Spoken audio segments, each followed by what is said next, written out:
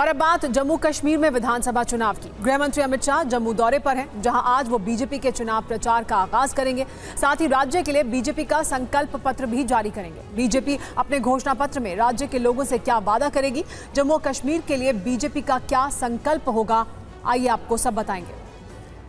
जो बड़ी जानकारी मिल रही है संकल्प पत्र से जुड़ी हुई है कि जम्मू कश्मीर के लिए आज जारी होगा बीजेपी का संकल्प पत्र, जिसमें गृह मंत्री अमित शाह जम्मू में जारी करने वाले हैं। जम्मू में शाम चार बजे संकल्प पत्र जारी करने का कार्यक्रम है। अमित शाह बीजेपी के चुनाव अभियान की भी शुरुआत करेंगे।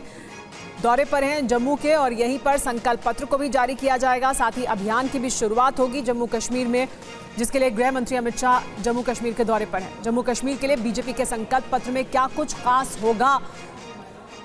ये भी जानना बहुत दिलचस्प है क्योंकि जम्मू कश्मीर में 370 खत्म होने के बाद, धारा 370 खत्म होने के बाद ये पहला चुनाव हो रहा है। ये जो तस्वीरें हम आपको दिखा रहे हैं, यहीं पर कार्यक्रम है जिसमें गृह मंत्री अमित शाह आपसे कुछ समय के बाद संकल्प पत्र जारी करने वाले हैं, चुनाव अभियान की शुरुआत करने वाले हैं।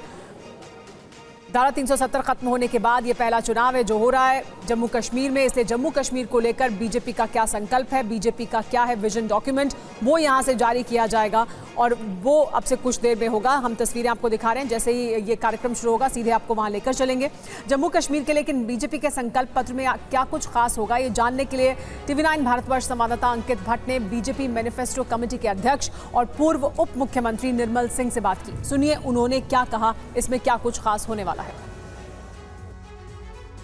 आज जितनी भी आपने मेहनत की इस कमेटी में जितने भी आपने देखा आज वो संकल्प पत्र के ज़रिए आप चार बजे रिलीज़ कर रहे हैं। क्या कुछ रहने वाला है इसमें? देखिए आज का दिन बड़ा एक खुशी का दिन है। एक तो जो जैसे आपने कहा कि मेहनत जो हुई है वो सामने आएगी।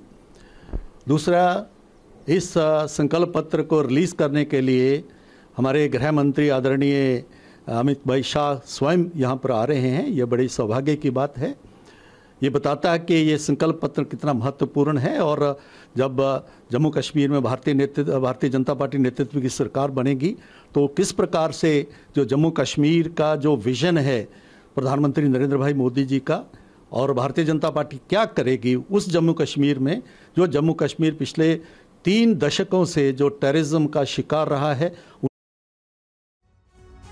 तो मैनिफेस्टो जैसे ही जारी होगा, संकल्प पत्र जारी होगा, उस कार्यक्रम में भी आपको लेकर चलेंगे।